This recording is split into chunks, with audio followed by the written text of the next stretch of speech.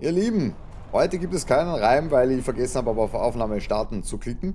Ich habe nichts gemacht, außer zwei weitere Raketen in den Himmel gesch geschossen zu haben, quasi.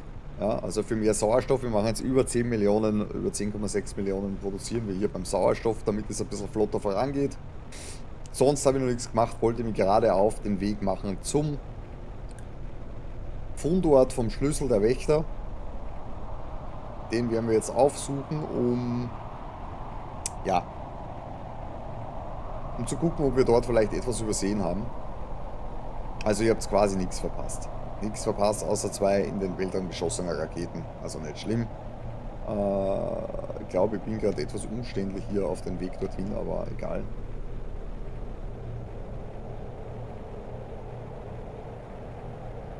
Im Endeffekt ist es ja hier. Ah, sehr gut. Die Weltraumrakete ist zurück. Das heißt, wir können dann die Fischeier einsetzen ins Aquarium. Das passt uns auch. Sehr gut.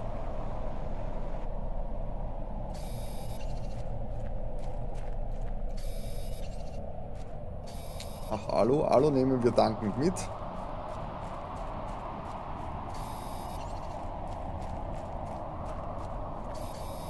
Davor haben wir immer grundlegend und chronisch zu wenig.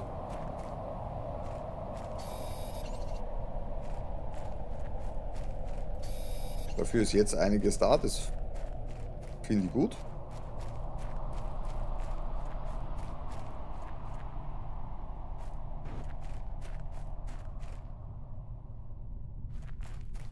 So.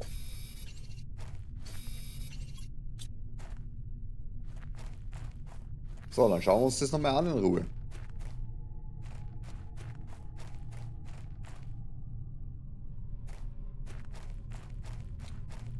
Ob wir hier vielleicht was ganz was Wichtiges übersehen haben. Oder in dem Fall. Es ist mir nämlich suspekt, dass es nach wie vor angezeigt wird.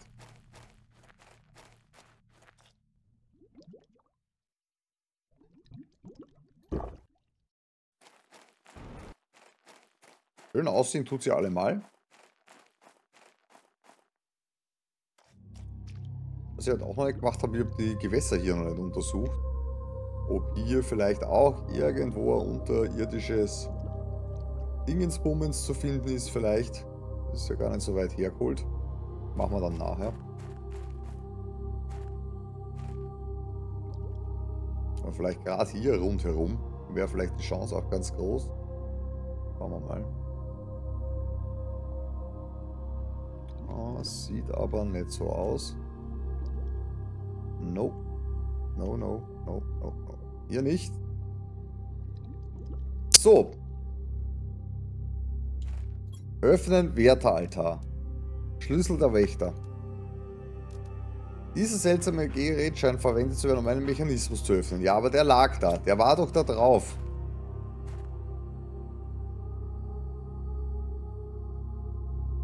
Ach, guck einer an. Da stehen Koordinaten drauf. Da stehen Koordinaten drauf. Minus 464.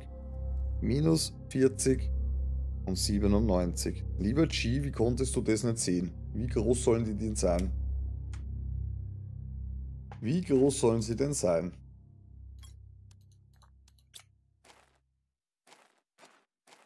Nehme mal an, dass diese Koordinaten mir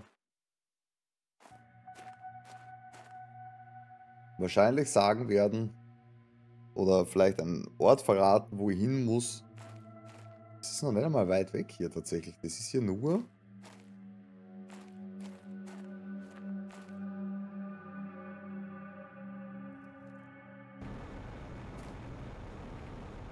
Aber hier, das muss draußen sein.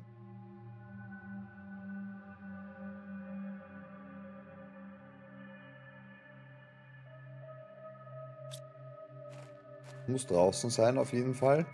Also nicht hier in der Höhle. Naja, wobei... Wobei... Hä? Ähm... Äh...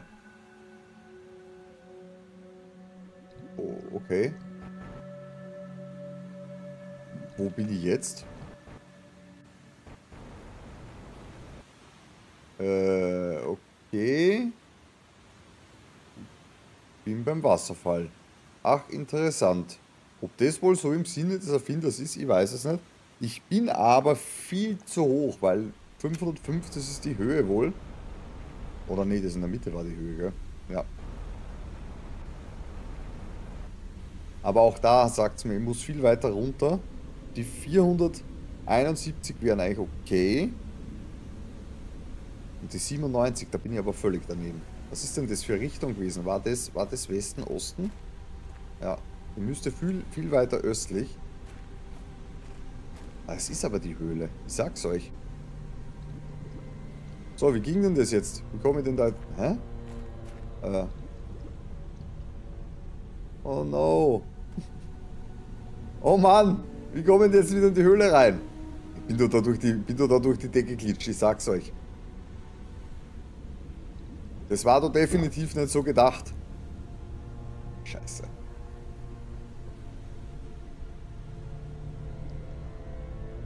Ja nun, okay. Blöd gelaufen. Blöd gelaufen, würde ich jetzt mal behaupten.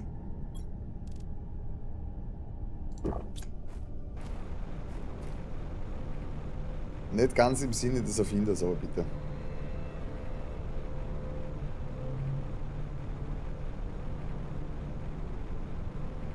Lass uns noch einmal reingehen. Ich bin mir echt nicht sicher. Vom, vom der Höhe her muss sie auf jeden Fall weiter unten sein.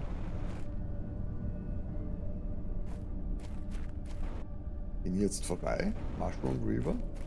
Ach, guck einer an, ich wäre schon wieder vorbeigelaufen. Weil hier geht's runter. Das ist ja schon mal gut. Ich müsste auf jeden Fall Richtung Osten. Wobei, da bin ich schon. Müsste Richtung Westen. Nee, Nee, nee, passt schon. Osten stimmt schon noch.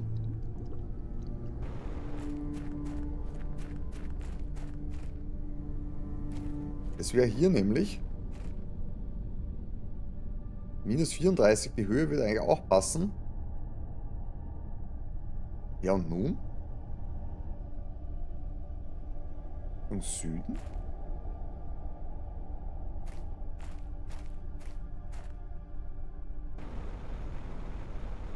Hier ist halt nichts. 400. 464. Ach, schau einer an, da ist es doch. So, und jetzt? Nein, ist jetzt nicht wahr, oder? Oh, jetzt habe ich mich fast festgepackt hier. Sag, was ist denn jetzt?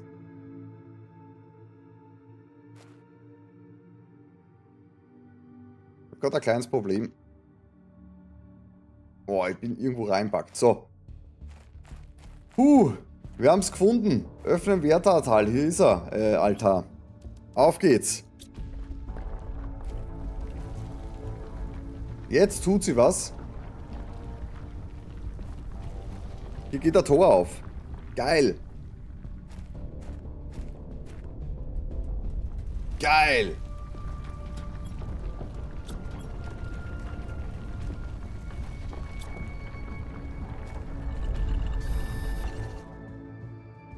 Wir ja zufällig Silizium.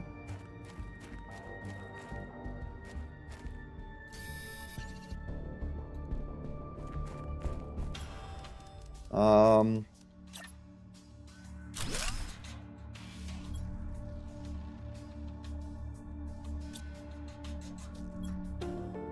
Werter. Alter, ich markiere mit dem mal zur Sicherheit. Was ist, wenn ich den Schlüssel wieder rausnehme? Kann ich gar nicht mehr. mehr. Gut, hätte ich mir die Markierung wahrscheinlich aussparen können. Oha! Oha! Okay, es wird spannend. Ja, krasser Scheiß. Uff. Okay. Nach all den Jahren, all dem Leid haben wir uns entschieden, unsere Heimat zu verlassen. Gehen Sie so weit weg wie möglich, um ein neues Zuhause zu bauen, weit weg vom Terror, weit weg vom Streit, weit weg von Ihnen. Verborgen zu bleiben und unser Leben so zu leben, wie wir es seit Jahrhunderten getan haben. Wir suchten sorgfältig einen Ort aus, an dem wir sicher sein konnten, versammelten die letzten unserer Art in unserem größten Schiff und brachen in einer schicksalshaften Nacht auf. Sie flüchten mehr von ihrer nie endenden Unersättlichkeit als vor sich selbst. Ein Aufseher. Ja, unbekannt.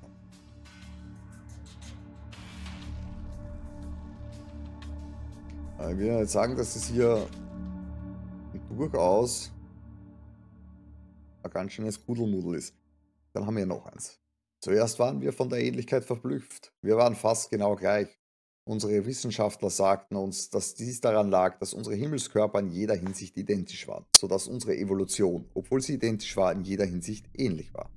Das war, als würde man einen Cousin treffen, von dem man nie wusste, dass man ihn hat. Brüder nannten sie uns sogar, als sie anfingen auf Treha zu landen. Ein paar Raumschiffe, die zu Dutzenden wurden und langsam wuchsen unsere Sorgen. Unsere Hauptunterschiede waren tief im Inneren verborgen. Biologisch waren wir identisch, aber unser Geist war unterschiedlich geformt. Aus Schicksal oder von Natur aus? Tatsache ist, als wir es merkten, war es bereits zu spät. Okay. Okay, das klingt spannend. So, hier geht es auch wieder in verschiedene Räumlichkeiten. Du Scheiße, noch mehr Koordinaten. Fuck. Gut, ähm, noch mehr Koordinaten tatsächlich. 964, 68, ach du Scheiße, 1744. Heiliger Bimbam, das ist ja völlig woanders. 964, 68, 1744. Warum machen wir nicht eigentlich einfach ein Foto davon? Ne? So. Gut. Nehmen wir mit. ist im Prinzip das gleiche, als wir schon hatten. Auch wieder so ein Schlüssel. Auch wieder ein Rätsel, wenn man so möchte. Okay. Dann schauen wir noch in den anderen rein. In den anderen Gang. Wo der hinführt.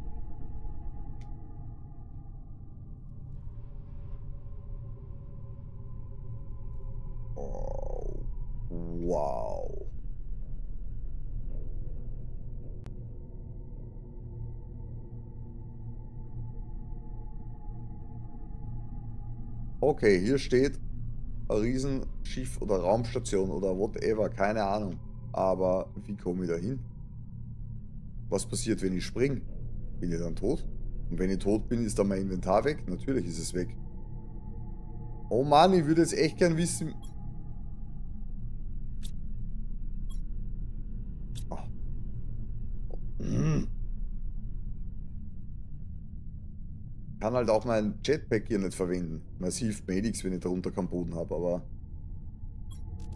Kann ich hier was hinbauen? Nein, weil ich kein Eisen habe. Ach Gott. Warum habe ich denn kein Eisen nicht? Ich würde das jetzt echt gern ausprobieren, ob ich hier was bauen kann. Damit man da rüber kommt.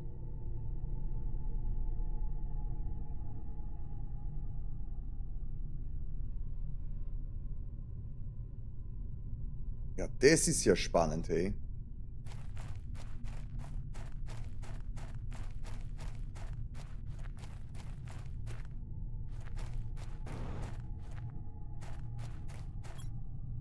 Aha, noch ein Mikrobar-Bauchip. Sehr gut. Und Eisen. So. Weiß zwar nicht, ob ich den jetzt auslesen kann. Da war ja irgendwie was. Irgendwie habe ich ja schon lange keinen mehr auslesen können. Die wilde Gewässer hier nicht ganz ununtersucht lassen. Ist ja einfach nirgendwo Eisen. Echt jetzt? Ist das euer Ernst?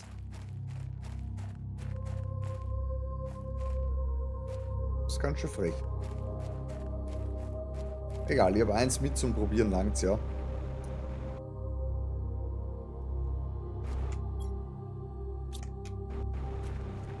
Eh trotzdem gern nur ein zweites gehabt.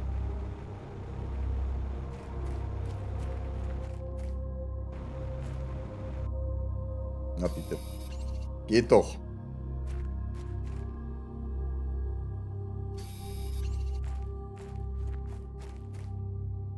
Es geht doch.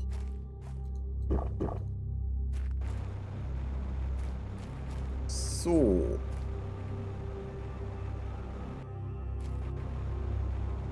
Würde nämlich echt gern wissen, ob man da rüberkommt. Und wenn ja, ob dort was ist, ob man da hinkommen soll oder ob das jetzt einfach nur schon wieder Hirngespitzt meinerseits ist.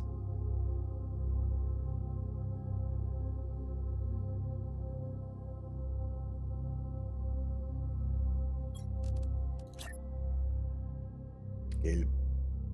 Ist es gelb oder rot? Das ist rot. Okay. Also gut, ich kann hier leider nichts bauen. Das heißt, hier soll es wohl nicht weitergehen. Schade. Sehr, sehr schade. Dann lassen wir das einstweilen. Das heißt, der nächste Weg ist zu diesen Koordinaten, die wir bei diesem nächsten Schlüssel gefunden haben. Die sind unser nächster Anhaltspunkt. Krass. Einfach krass. Ja, ich lasse ihn erstmal so, wie er ist.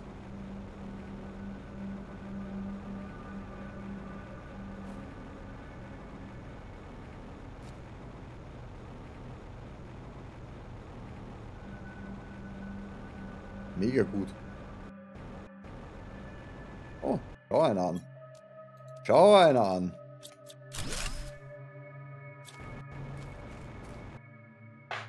Sich hier immer wieder nur verbirgt.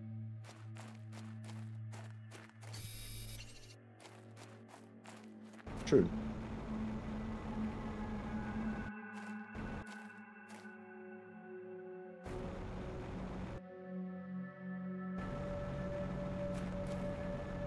Noch eine.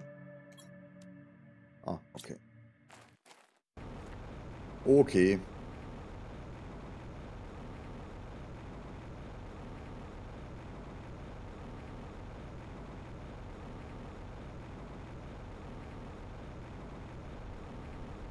Mich immer nur, immer nur, wo diese Höhle war. Wo die Eisdecke war. Ich war irgendwo mal in der Höhle, da gab es eine Eisdecke. Durch die ich noch nicht durchgekommen bin. Die habe ich seither nie wieder gefunden.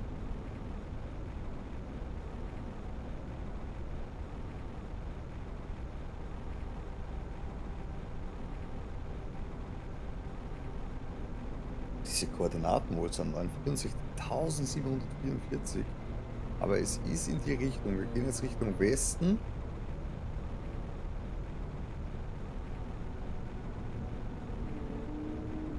Das ist die Richtung, wo ich wohl hin müsste.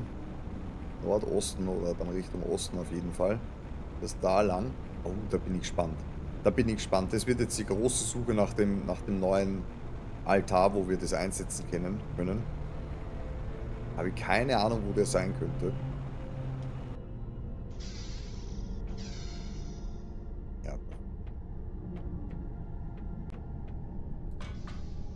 Perfekt. So, diesen ganzen Überschuss an Materialien packen wir einfach da hinten rein.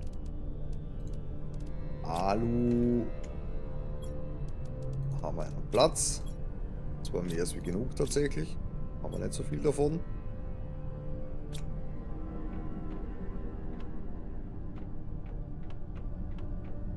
Sauerstoff. Ah, die Platine haben wir nicht erforscht. Schauen wir mal, ob ich sie auf forschen können.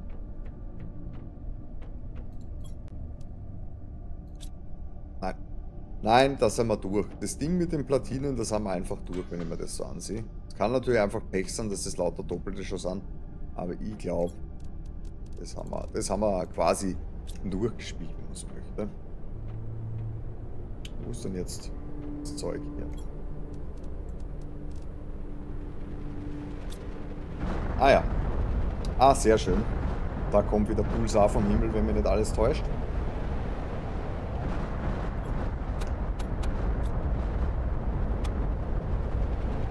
Wenn ich mich nicht ganz irre.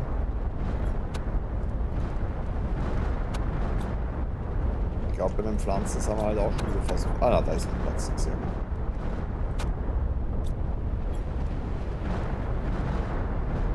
gut. Gut. Zeolit, den Uranstab können wir nur da hinten irgendwo reinpacken.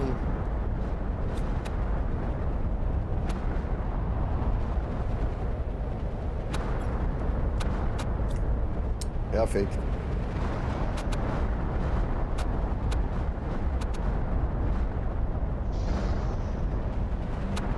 Dann können wir uns... Ui! Vielleicht, vielleicht ein bisschen ein mutiger Move hier rumzulaufen.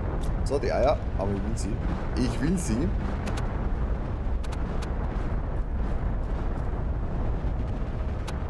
So. Ja, rumpelt's, das ist ein Wahnsinn.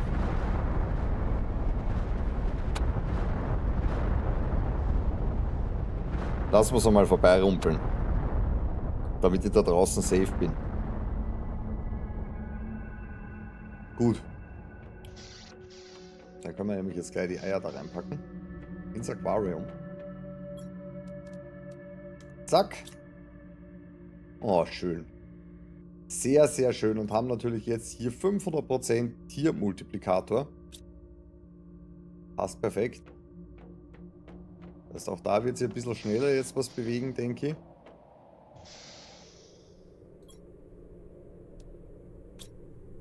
Mit Tieren, ja, jetzt geht's dahin.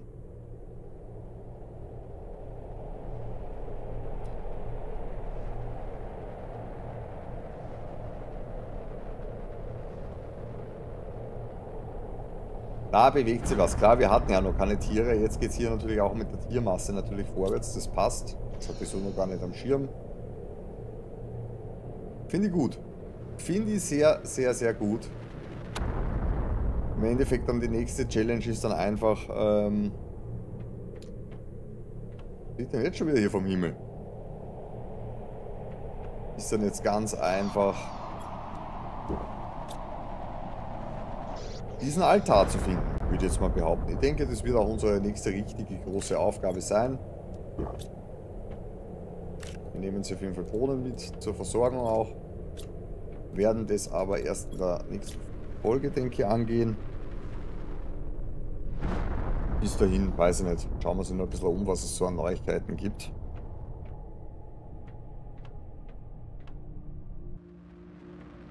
Oder gut, bevor wir dann Huch. Geht schon wieder rund. Eieieiei. Ja, sag du mir. Heiliger Bimbam. Anders wild. Anders wild, was hier abgeht.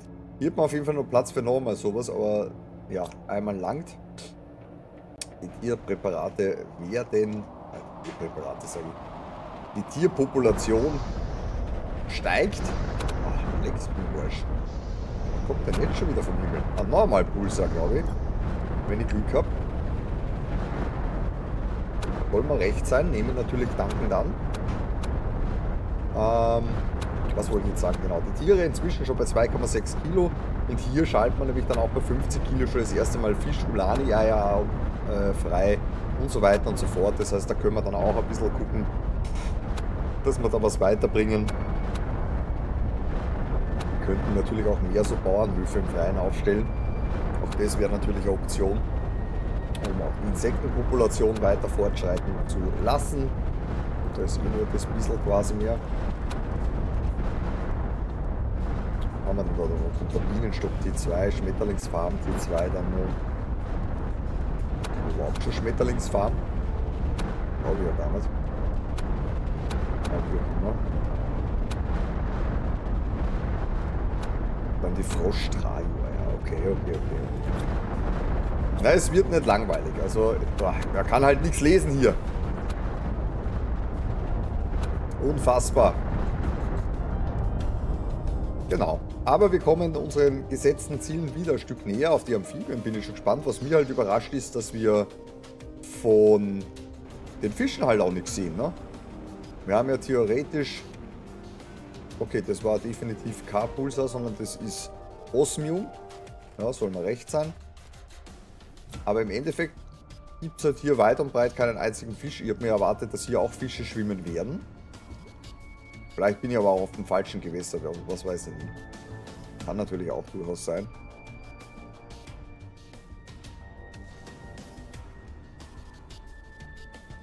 Ich bin überrascht, ich hatte schon erwartet, dass wir hier, wenn wir mit dem Fischstadion durch sind, Ah, da haben wir gerade vorher noch von der Schmetterlingsfarm gesprochen, ne? Da ist sie. Ähm, kann natürlich sein. Was? Jetzt habe ich meinen Text vergessen. Ähm, na, wie auch immer. Auf jeden Fall hätte mir durchaus erwartet, dass hier Fische schwimmen würden. Aber nicht schlimm. Also gut, es ist auf jeden Fall Osmium gedroppt. Das kann ich aber im Moment nicht brauchen, weil das ist eh, glaube ich, voll soweit. Scheint es auch gewesen sein. Pulsar scheint hier nicht dabei gewesen zu sein. Schade eigentlich. So, schauen wir uns das an. Die Schmetterlingsfarm. Was brauchen wir dafür? Wo ist sie überhaupt? Ähm hier ist sie. Stufe 2 Dünger Zeolit Biokunststoffpumpen. Bringen wir hin. Bringen wir hin. Wir brauchen nur den Stufe 2 Dünger brauchen wir dafür brauchen wir einmal Stufe 1 Dünger, also Dünger, Algen, Algen aber einstecken, Kürbis und zweimal Methan.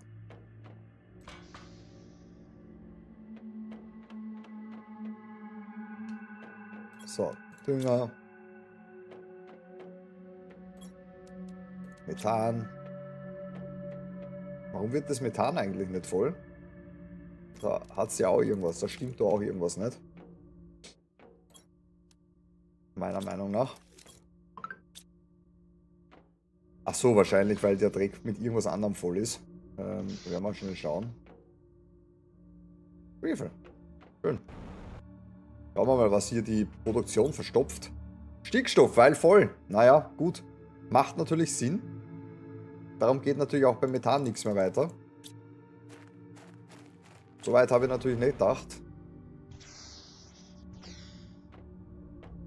Aber erklärt es natürlich. So, was fehlt mir denn jetzt? Eine Methankartusche, im Ernst jetzt? Habe ich nur eine rausgenommen? Wirklich?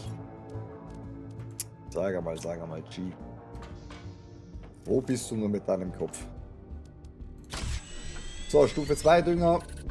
Einmal Zeolit, einmal Biokunststoffklumpen.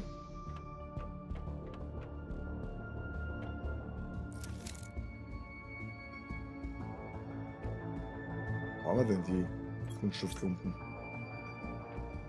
Hier.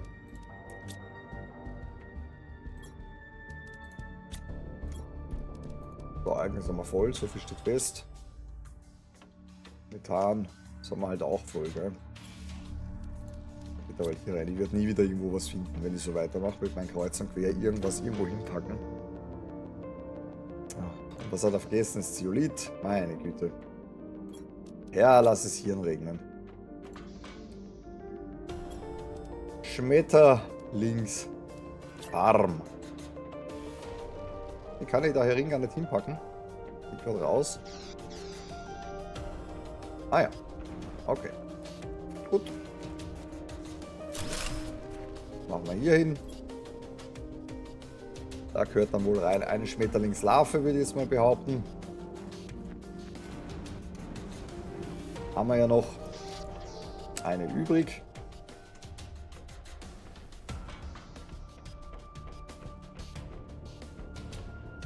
Seite, Seite, Seite, Larven. Hier ist die Schmetterlingspengerlarve. Was bringt denn das Ding überhaupt? 75 äh, Insekten pro Sekunde und dann haben wir den Multiplikator noch dazu. Perfekt. Zack. Und schon fliegen sie hier. Ach, ist das schön. Ach, ist das schön.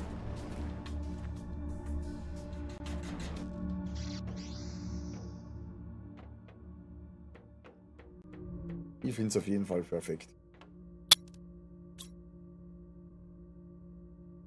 Gerade bei den Insekten müssen wir eh schauen, dass wir da ein bisschen was machen noch. 8 pro Sekunde, die Schmetterlingsfarm bringt halt doch um einiges mehr.